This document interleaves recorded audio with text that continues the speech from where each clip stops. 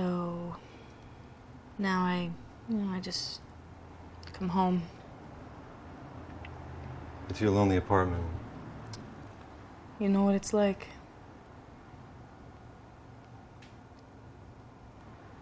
Huh?